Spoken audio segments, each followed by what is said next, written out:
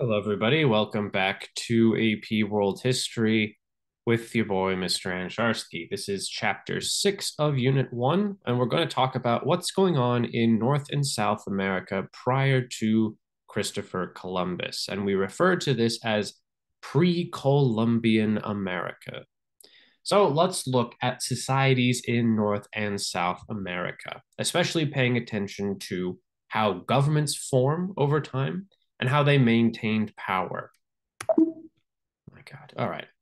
So, yes, we are going to look at what we refer to as historians as state building, meaning how are empires, how are governments, how are kingdoms being set up in North and South America. So, that is the lesson objective for today. Remember, this is what you are responding to on that, uh, the unit worksheet explain how and why societies in the Americas developed and changed over time. So you should be answering with evidence the how and the why. Excellent. All right. So let's first look at a region of North America that is sometimes called Mesoamerica or Central America. Sometimes people call it. But first, as usual, geography. Let's look at geography here. Well, it's important to remember that Mesoamerica is kind of a mix between two basic uh, forms of geographic terrain. In some parts of Mesoamerica, including southern Mexico, we do have kind of a mixture between mountains, very dry, semi arid mountains, but also you have dense tropical forests as you get closer and closer to the Caribbean, as you get closer and closer to South America. And we'll see that how this kind of natural environment is going to impact what societies form and how they form in Mesoamerica. But another thing that's kind of important about North and South America in general is that you don't really have what we call beasts of burden, meaning you don't have animals like horses, you don't have animals like um, donkeys or mules. These are going to be things that come from the old world. So, right now, we don't really have many domesticated animals. We do have turkeys, but we don't have anything in the way of horses or mules. The horse will be introduced to North America once the Spanish get there. We have llamas in South America, but we'll talk about them more later. But right now in Mesoamerica, no beasts of burden. But we also see that there is going to be a change in how these societies will adapt to their natural environment. As with uh, Eurasia, as with Africa, as we'll see, many of these societies prior to the rise of civilization, they're mostly going to be engaged in slash and burn agriculture or swidden agriculture, as it's sometimes called. But as states develop, as more complex societies develop, we will see the uh, ability to create more complicated forms of irrigation, more complicated forms of agricultural production.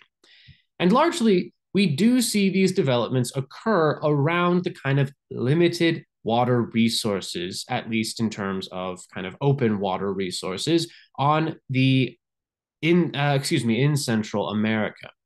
So we are going to see that several societies will adapt to their natural environment by kind of creating agricultural forms that do well in their natural environment. So we will see that largely these civilizations, especially the uh, the Mayan and the Aztec, they will develop around key lakes um, in Central America. This is Lake Texcoco in modern day Mexico. It doesn't exist really anymore, but we'll talk about that later. Uh, this is go- where the Aztec will pop up, and they will develop kind of very complicated forms of agricultural production. They will create a system of artificial islands called uh, chiampas. We also see complex uh, canal building, irrigation along the shores of Lake Texcoco. But we also see that there is swamp draining as well, kind of reclaiming land in order to build more complicated forms of agriculture. We also see kind of the, I don't want to say exploitation, but the use of natural aquifers as well. We do see as well that many societies in Mesoamerica They will form around areas that have what we call cenotes. These are kind of they're mostly underground lakes, but there's a hole at the top where you can see everything. So that's what geography looks like. And kind of in answering that daily summary and answering that lesson objective, you could say that we see the adaptation of the natural environment through more complex forms of agricultural production, say the uh, Chiampas, the artificial islands, and we'll talk about them more later with the Aztec. But in general, societies in Mesoamerica are going to be very similar. And we do see that they will build upon each other, essentially. They will kind of take the uh, same social, religious, political uh, structures, artistic and cultural structures, and adapt them for their own purposes. So many of these societies in Mesoamerica, these are some similarities, and I'm going to go into more detail about them in just a second. But we do see that Mesoamerica is highly urbanized, meaning that there's a lot of cities. It's kind of densely populated areas, especially around key water resources like Lake Texcoco. We see that generally these societies are very militaristic, meaning they have big military culture, meaning they have large militaries. We know that they also have polytheistic religions, meaning, of course, they have multiple gods. But in these polytheistic religions, as we will see, there often are similar gods and similar practices. One of the most notable and uh, uh, coolest, well, not coolest, but one of the most notable, of course, being human sacrifice. And we'll talk about the political and religious purpose of this in a second, but it is a strategy, it is a belief practice that is employed by other civilizations uh, throughout Mesoamerica. We know that there was strict class hierarchies. Oftentimes, at the top would be the priestly class. The clergy is another word for that. Uh, but also, of course, the nobility. They are at the top of this social pecking order, so to say. So we do have a very rigid class based society where religion and secular politics, meaning non religious politics, are often intertwined. Religion and state, they are together, not separate. But we also know that these societies will have similar economies. They have similar agricultural practices. They engage in trade. There's evidence of trade with places across Mesoamerica, throughout Mexico, even as far as North America. Uh, similar kind of culture and such. All right. And one of the kind of earliest civilizations that will adopt many of these practices, that will be kind of the model for the Aztec and the Maya, is the city of Tenochtitlan. And I am mispronouncing that.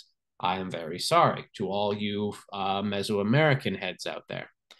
But Tenochtitlan is going to be one of the kind of premier of these Mesoamerican societies. It is a city state. It does have a very strong urban population.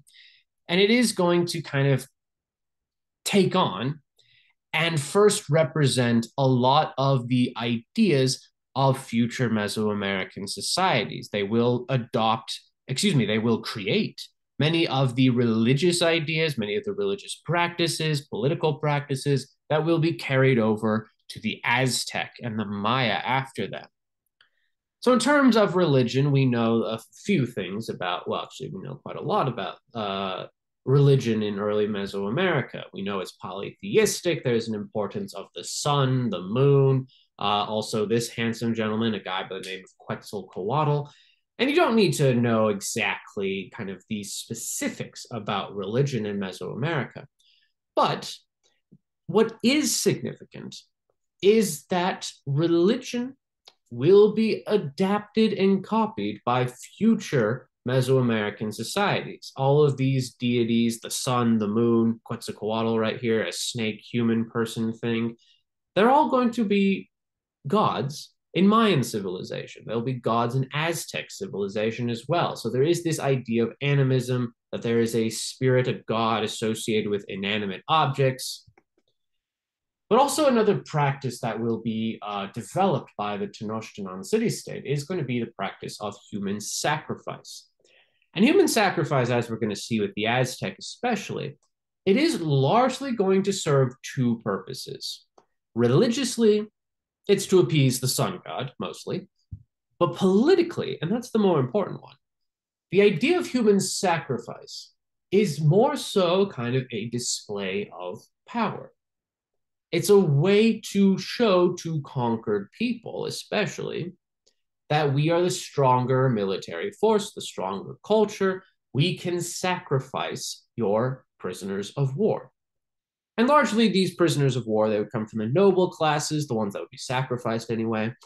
But also, we do see that war serves an economic purpose as well. In addition to fulfilling this requirement of gaining human sacrifices, war gains slaves as well. So we do see a very slave-based economy in Tenochtitlan and in future Mesoamerican societies. But we also know that they are largely going to be a trade based society. They also develop kind of agricultural practices that will be employed by the Aztec, by the, the Maya, including kind of early, kind of that slash and burn technique, but also later these ideas of the floating islands, the chiampas, of irrigation, of canals. So we'll talk more about human sacrifice in just a second. Yummy. All right. Another society that does form in Mesoamerica is going to be the Mayan civilization. And the Mayan civilization is less of a single unified empire, but more of a series of city states that have similar culture. So it's kind of like the Greeks in a way, in the sense that uh, Greek civilization is not a unified thing, at least during the classical period, but it is more so a collection of politically independent states that have a similar religious and pol- uh, political practices, but not the same government, essentially. Ooh, I got a net. Awesome. We also know that there is a similarity in this idea of monument building, and you can see an example of a Mayan temple right here. It's oftentimes in a pyramid uh, shape. Uh, it does have kind of uh, religious housing, not housing, but the uh, the actual building itself where ceremonies take place up here on the top. But these monuments are important for a few things. For one thing, they represent kind of how the idea of the lack of beast burdens feeds into class-based hierarchies. Most of these monuments, actually all of them, I should say, they're built with slaves. They are built with manual labor without the assistance of horses, without the assistance of pack mules. But another thing that's important about these monuments is that they represent a shared culture among uh, Mesoamerican societies, among the Mayan uh, initially. But another significance is that they have a religious and scientific purpose. These temples oftentimes are created with the intention of being aligned with the, the planets, with the moon, with with the moons, with the moon or with the stars. So they're basically kind of observatories in a way. And because of these religious and uh, quasi scientific buildings, we do see that the Mayan have a lot of intellectual advances, especially in the area of astronomy. We see that the Mayan famously, you might have heard of this before, they develop a astronomically accurate calendar uh, they also, of course, develop a writing system that will be employed by future Mesoamerican societies, this kind of hieroglyphic uh, uh, language system, written language system.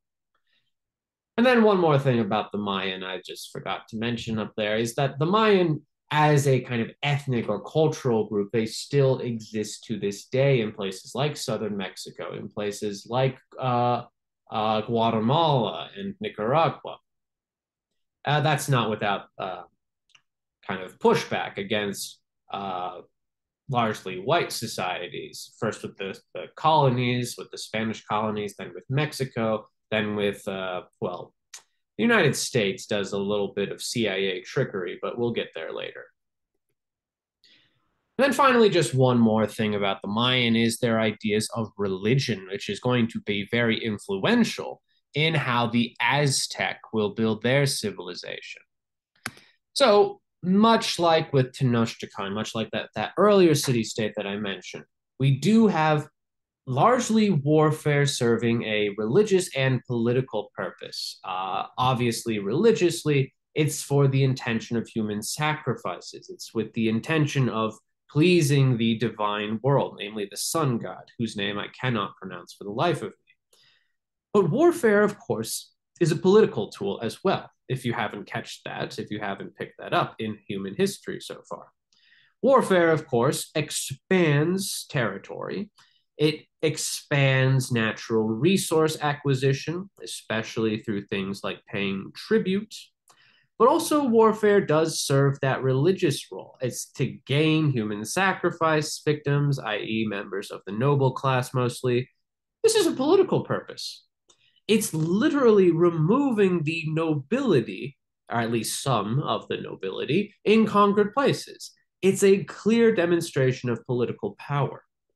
But also, slavery is going to be something that results from these warfares. Oftentimes, commoners captured during war, they are going to be used as slaves in these Mesoamerican societies.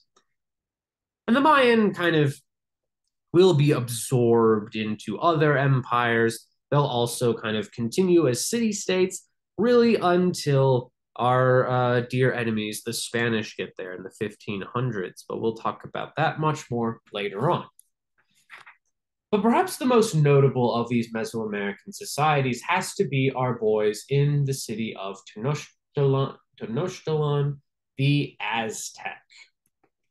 So let's look at the origins of our friends, the Aztec. Well, much like other societies in North and South America, the Aztec are largely going to build upon the legacy, both literally and uh, figuratively, of the Tol- of the Toltec Empire.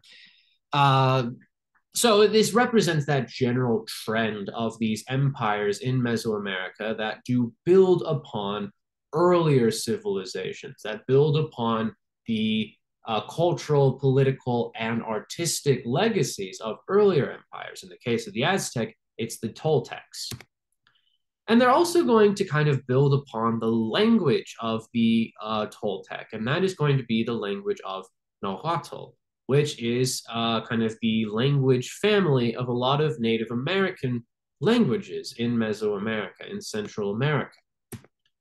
Eventually, the Toltec do collapse, and we do see a series of independent city states, of highly urbanized regions across this key lake in southern Mexico, in Lake Texcoco. And one of these city states is going to be home to a group of previously nomadic people called the Mexica or the, the Aztec, who do settle in the city of Tenochtitlan. And Tenochtitlan is going to become the capital of the Aztec. But unfortunately for the Aztec, their city is on an island. And islands are terrible in world history because there's limited amount of space. There's limited amount of space for people and agriculture. And in general, natural resources. So, how do you get more land for people, more land for agriculture? Well, you can make floating islands, as we'll talk about later. But in the long term, to get natural resources, especially building materials, i.e., stone, but also precious metals, jade, uh, or not jade, that doesn't exist, um, uh, feathers and animal furs, you have to expand. And we do see that the Aztec, adopting a very militaristic culture that earlier Mesoamerican societies had, they're going to aggressively expand across Lake Texcoco and they will form an empire. They will uh, take over um, and rule over the region of Lake Texcoco, especially over these cities along this key important lake in southern Mexico. So let's look at how the Aztec, well, we looked at how they uh, developed. Let's look at how they maintained power over time. Well, the Aztec Empire is an extremely centralized one, meaning that there is unquestionably one person in charge, the emperor. There is unquestionably a center of this empire in the city of Tenochtitlan. So there is a highly organized political structure, uh, and it's allowing for this empire to exist to develop and maintain its hold over Lake Texcoco.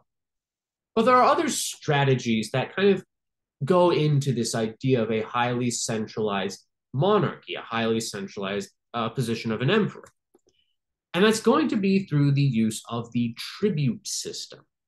And we've talked about a tribute system before. We talked about what was going on in China with the Central Asian nomads. But the tribute system in the Aztec Empire works basically the same way. So conquered people from the Aztec, they would be kind of forced, they would be demanded to give tribute to the Aztec, to the Aztecs' capital of Tenochtitlan. So we do see that there is this system to maintain natural resource extraction by demanding tribute from conquered people. And the Aztec, they would have these things called tribute lists. I, am showing you an example right here. Basically, it's a kind of pictorial representation of what the Aztec demand from conquered people. And in this case, they're demanding things like jaguar furs, like, I actually don't know. Is that a jaguar? It could be but animal furs in general, precious metal, i.e., gold, spice or not spices, uh, food in general, but also slaves, also natural resources like building materials, i.e., stone. But we also see that the Aztec maintained their power through this idea of human sacrifice. As I've been mentioning countless times before, it serves two roles. Religiously, is to satisfy the big guy in the sky, or at least one of them, in this case, the sun god. Um, and I am not going to try and pronounce his name, unfortunately. Or actually, you know what? I will, just for just for some giggles. Um, or maybe I'd offend people if I do that. I probably shouldn't. Uh, the dilemma of world history with Mr. Ancharski. I cannot pronounce anything outside of Germany. And that's because only because I took German in college and high school. But anyway, so religiously, obviously, human sacrifice serves its role in satisfying the divines. But politically, of course, what is the purpose of human sacrifice? It's a very dramatic way to show that you're in charge of everybody. So we often do see that prisoners of war, that those from the noble classes, they'd be extracted a sense, in a sense, and they would kind of serve a purpose of being a human sacrifice. We would see that these nobles they would serve that religious uh, satisfaction for this divine world, but also it's a clear demonstration of power, and oftentimes that's going to be solidified, you could say, by the kind of ceremony of ripping out the heart and then ah, little yummy bite uh, so there is kind of a religious and political purpose to all of this human sacrifice. It's a demonstration of power. It's a part of that tribute system. But another way that the Aztec maintained power, and something that won't make them very popular, demanding tribute from people doesn't make you very popular, by the way, in case you were wondering. But in terms of another way to maintain power, the Aztec are going to develop a very stratified, very rigid hierarchy of class. So this class is largely going to be pretty immovable, meaning that, mm, with few exceptions, marriage being one of them, you can't really move up in this social hierarchy. And largely, this social hierarchy is determined by family or clan loyalty, called the Calpulli. And the Calpulli essentially are kind of different classes of people. And really, your family remains in that class for the most part. You don't necessarily need to memorize this hierarchy right here, but it is a very rigid and strict one. We have an emperor at the top. This is Emperor Montezuma II. We'll talk about him later. But there is also uh, kind of this close association between political leaders, i.e., the emperor and the nobility, but also religious ones as well. So there is a merging, a blending of the secular and religious eh, institutions in Aztec society. And of course, at the bottom being slaves.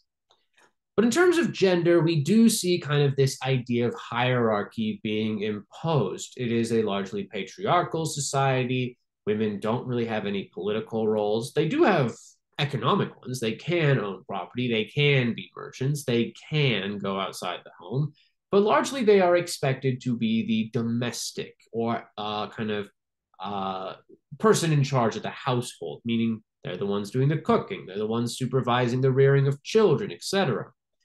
We also see kind of there's a distinction in uh, kind of marriages as well for upper class people, for upper class men mostly. They can have multiple wives. The nobility, they often do engage in polyam or um, not polyamorous, polygamous, uh, polygamous uh, relationships, whereas lower class people are expected to have one wife, monogamy. Monogamy, indeed, yes. So, a very rigid class based society where there's limited social mobility. We also have this very cruel uh, treatment of conquered people, very dramatically expressed through the tribute system, but also human sacrifice.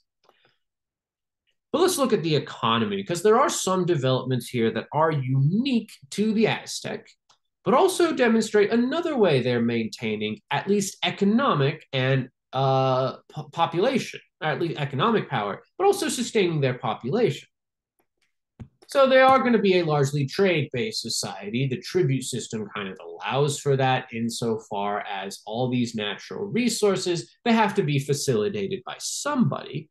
Why not be the merchant class? So there is a very strong merchant class in Aztec society, and we do see a trade between conquered people and the Aztec through that tribute system. So slaves, of course, are exchanged, but also kind of things like feathers, furs, animal skins, precious metals, cocoa leaves. Uh, chocolate is an Aztec invention, so we have them to thank or curse for that. I don't know who'd curse them for that. Maybe like maybe like Willy Wonka's dad or whatever in the movie with Johnny Depp. You know, it's like Christopher Lee or whatever. He's like, no chocolate for you. Or no, that that's a pretty good Christopher Lee, I think. Anyway, so we do have this merchant-based economy that's largely going to see the exchange of these precious, of these luxury goods, but also of basic natural uh, kind of infrastructure resources, of stone, of um, of um, building materials in general. But in terms of agriculture, we do see that in order to sustain a highly urbanized society, you need very complex forms of agriculture. So we do see that with this highly centralized state that has all these natural resources, they can build public works of infrastructure. They can build canals. They could build also what we call chiampas. And the chiampas, I'm mispronouncing, but another name for them are floating islands. They are artificial islands that will dot Lake Texcoco and is kind of expanding farmable or arable land. To Tenochtitlan and many of these city states, it's going to be a very urbanized society, as you can imagine. You need to sustain population through expanding where you can farm land. And in this case, they're farming land literally on the water. We do see that these city states, they'll have populations upward to a million people and uh, kind of at their height before the Spanish get there. So, in order to maintain their society, we do see the use of agricultural techniques, i.e., the building of floating islands.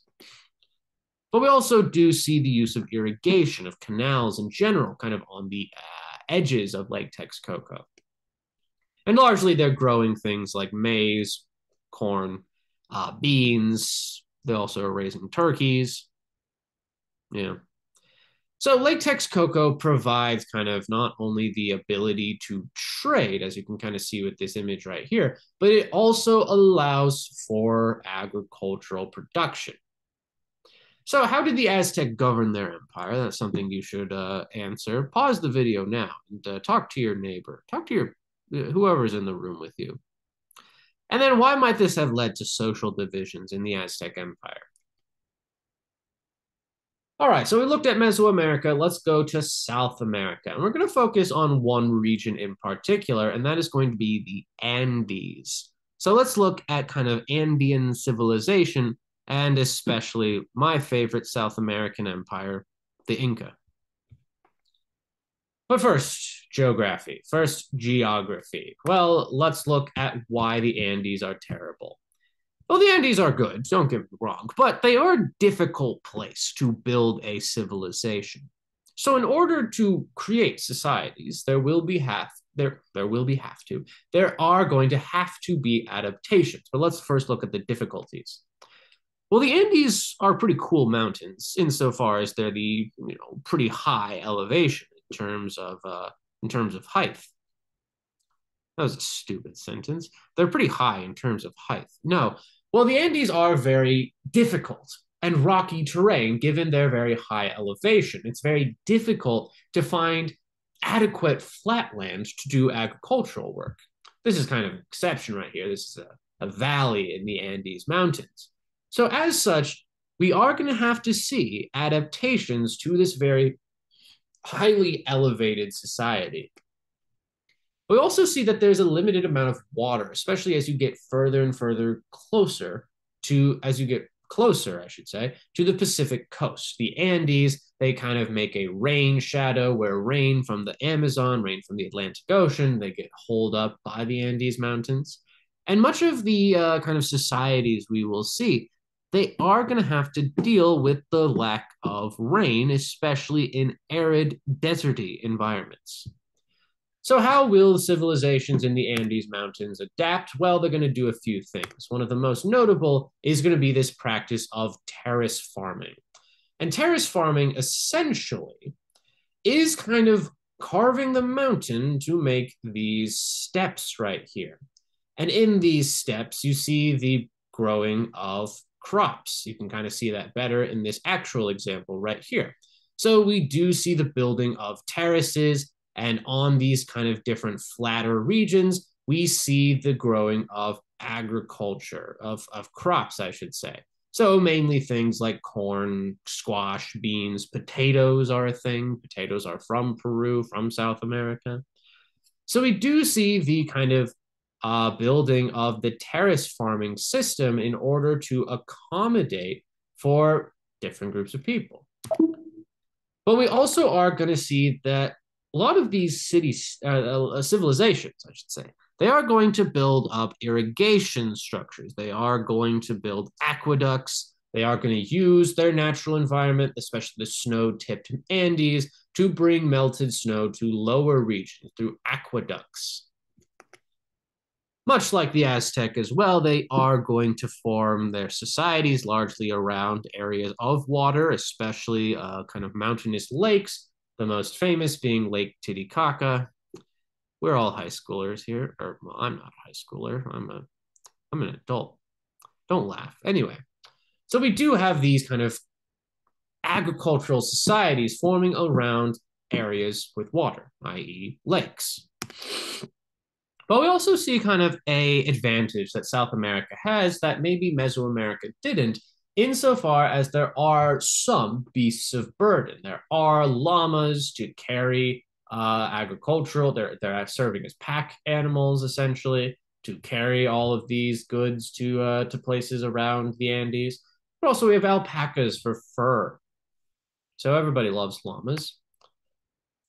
Let's talk about the premier Andean civilization, that being, of course, the civilization of the Inca. They go by um, kind of a different name, and unfortunately, I cannot uh, pronounce it off the top of my head. But this is kind of what we refer to as the key Andean civilization, that being the Inca. So, where do the Inca come from? Well, much like the Aztec, they are going to build upon the legacy of earlier civilizations in the region, especially these two kingdoms right here, the Moche and the Chimu empires. So these places are going to be kind of the inspiration, politically, religiously, agriculturally, for the Inca civilization itself. And the Inca, they are going to initially be a pastoral group of people, kind of like, in a way, the Aztec prior to getting to Tenochtitlan, where they, I forgot to mention this, but you probably are familiar with the story of how Tenochtitlan was founded, actually. And that's, you know, the, an eagle or whatever, a hawk was on a snake and Mexican flag. I don't know. It's an interesting story, but it's not relevant for us. Anyway, the Inca, they are going to settle down eventually. They are going to build up a city. It's Cusco. They are going to transition from a largely pastoral, nomadic lifestyle, herding llamas and alpacas, to ones settling uh, near uh, mountainous lakes, i.e., Lake Titicaca. So we are going to see eventually that in order to kind of accommodate some cultural things that we'll talk about in a second, actually, we do see the expansion of the Inca Empire. So we do have uh, this guy right here, Pachacuti. He is going to expand the borders of the Inca Empire. And we do see a very complicated uh, imperial system that is forming under the reign of Pachacuti and future Inca emperors. So let's look at how uh, the Inca will govern their society. Well, much like the Aztec, it's a highly centralized government. There is a monarchy, there's an emperor. But how does this centralized monarchy govern? Well, they're going to, much like the Aztec, use a form of the tribute system. We do see that conquered people are expected to give some form of tribute to the Inca emperors. But as a difference between the Aztec and Inca, we do see that the Inca are going to be a bit more aggressive in expanding the borders of their empire, especially because of cultural practices. And why is that? Well, in Inca culture, especially in royal culture, we do see this idea of split inheritance. Essentially, a king would have sons, and the oldest son would become the next emperor.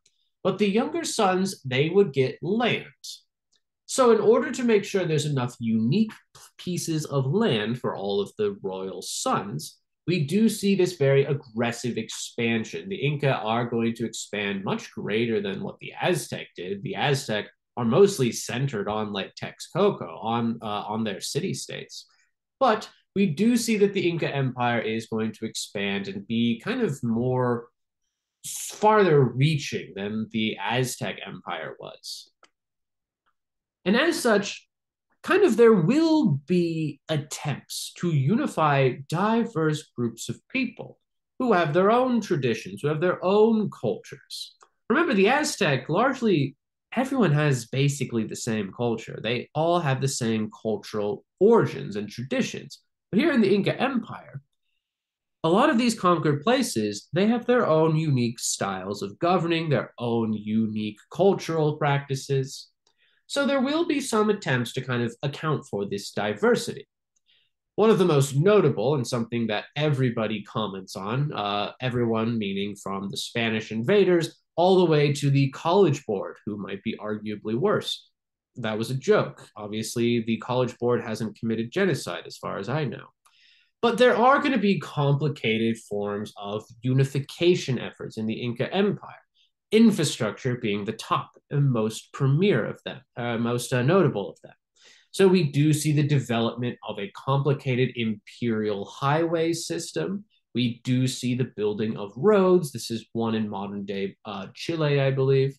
So we do see a very complicated highway system that's allowing for imperial expansion but also allowing for communication with the center of the empire, the city of Cusco. We also are going to see that there is the development of a common language in the Inca Empire, one that is referred to as Quechua, which is going to be the basis for many Native American languages in this western part of South America.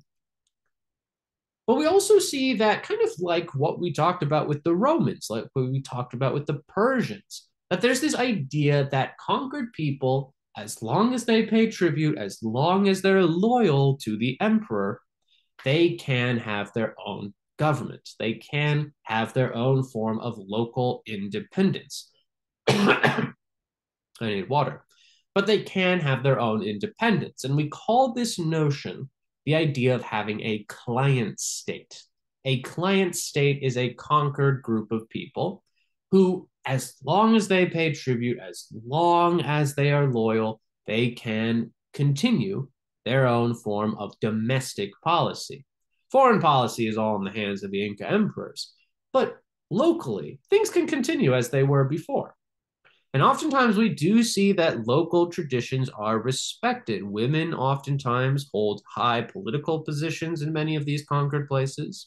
So there are some queens uh, that do rule over these client states as long as they pay tribute to the Inca emperor. But kind of as a caveat to all of this, even though they're allowing for independence, they do have this system of essentially taking a heir hostage. So whoever is going to succeed the local ruler, uh, they have to keep their heir at the imperial court in Cusco. They have to be kind of kept hostage until they succeed whoever they are succeeding. Anyway, so kind of in the Inca Empire, it is going to be less urbanized than the Aztec, at least as a whole. It's less populated, there's less population density, and many of the, uh, most of the time, much of these uh, kind of local societies are going to be based on family or clan loyalty. So these local communities, these client states are tend to be ruled over by the traditions of family so, family is kind of the big basis for many of these rural communities in the Inca Empire.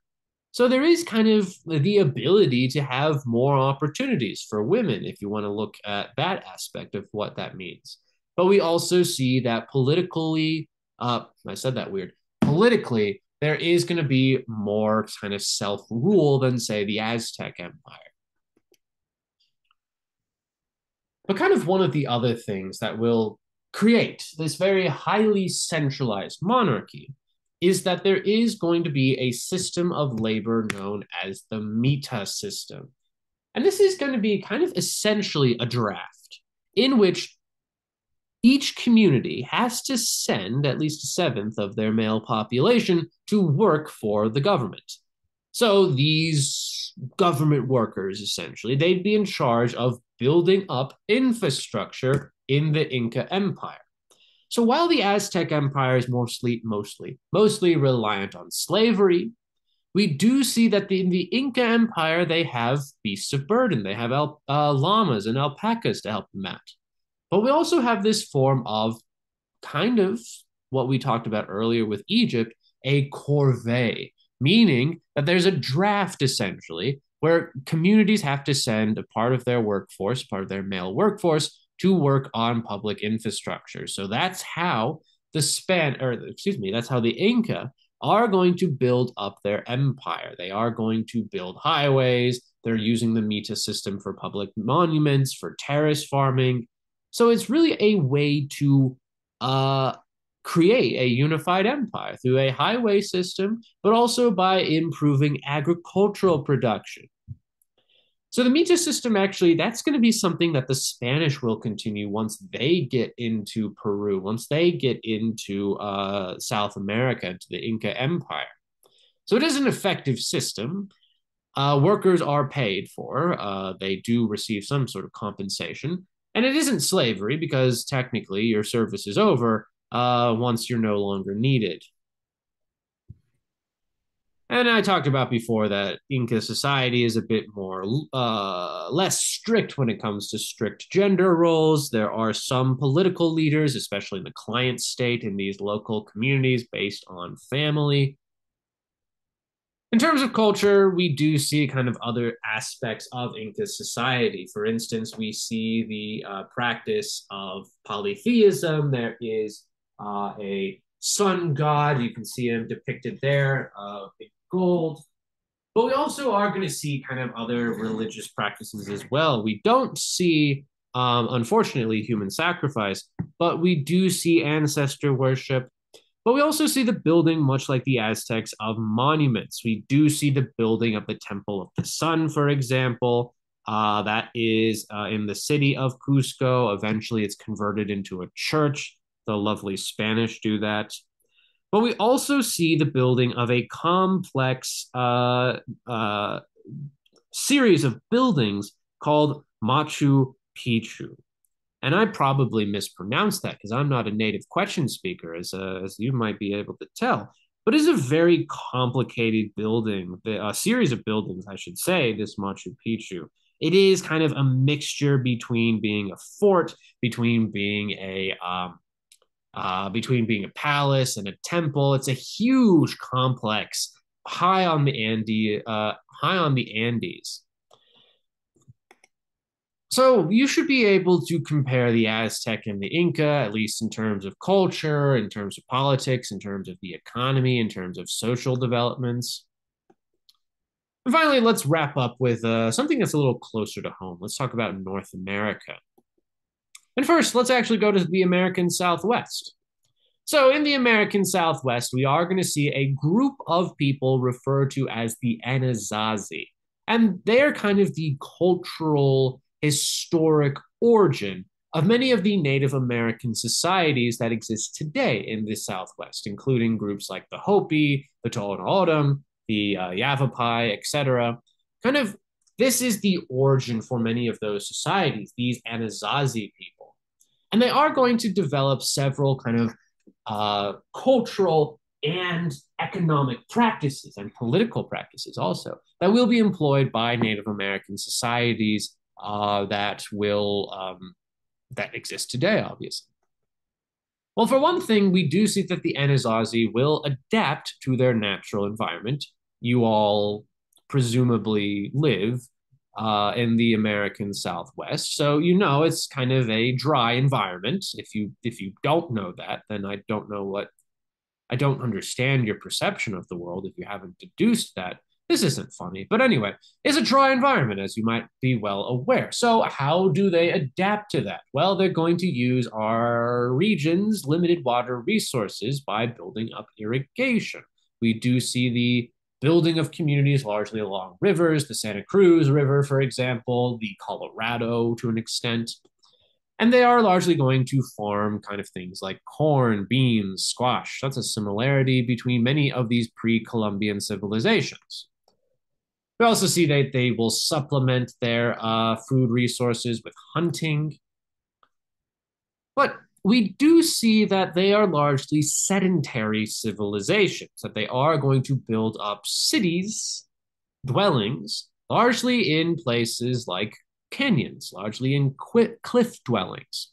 And two prominent examples of these uh, of these communities, of these building communities, are Mesa Verde and Chaco Canyon.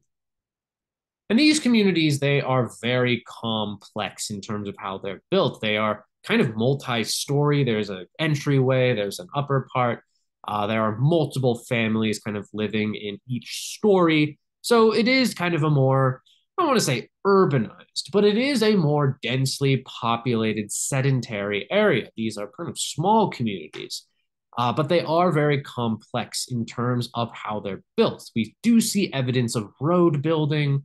Uh, we also see the evidence of temples as well, and these are referred to as kivas. They're kind of underground temples where religious ceremonies take place. The Anasazi, as a cultural group, as uh, in terms of uh, settle settlements like Mesa Verde and Chaco Canyon, they are going to decline probably because of outside invaders, but maybe because of climate change. We're not entirely sure. The deserts, as you might be aware, is very volatile in terms of what can change overnight. And finally, let's wrap up today by looking at the Ohio River Valley and the Mississippi Valley as well. And that is going to be a group of people we refer to as the Mississippians. And this is a very broad term for a very broad culture that exists throughout the American Midwest mostly. So we do see that there will be the settlement of communities, uh, much more urbanized than down, down there in the Southwest. We will see the building of settlements, very complicated ones across the Mississippi and Ohio River Valley. There's evidence even of trade with groups along the North Atlantic, with uh, along the Atlantic coast. So the Iroquois, for example, we'll talk about them a bit more later, actually we do know that they're much like the Aztec, much like the Inca. There was this transition away from mostly nomadic civilization towards more sedentary ones. And that example of that is the Hopewell civilization. And largely, Mississippian society is going to be very urbanized. There is evidence of kind of a mixture between trade and agriculture. There's trade, complex trade routes across the Mississippi River, the Ohio River, with other Native American societies. We know, of course, there's agriculture, mostly corn. It's supplemented with hunting and gathering as well. We know that there was kind of a complex uh, hierarchy in which there was a chief who served a religious and political role. We also know that there's the building of massive mon- of monuments called burial mounds, and we can see uh, the remains of one right there and an artist's depiction of one down there. And the biggest of these uh, societies, of these trading urbanized societies, is the city of uh, Cahokia. And this is kind of something that may or may not be on any potential test in the future. It's a city. It's a city that does exist, and it's an example of these complex trade and agricultural societies. And eventually, much like the Anasazi, the Mississippian culture probably declined because of climate change. There was floods along the Mississippi or the Ohio River. Um, there might have also been internal problems. We don't know exactly because there's not really evidence of a written record. Same thing with the Anasazi. Anyway, that wraps up North America. How did societies in North and South America adapt to their natural environment? You could use either the civilizations we just talked about, or you could use the Aztec slash Inca. All right, awesome. Have a great day. Uh, peace, love, rock and roll in the uh, in the United States. Uh, no, hold on, hold on. Uh, rock and roll in the free world. Awesome. Bye.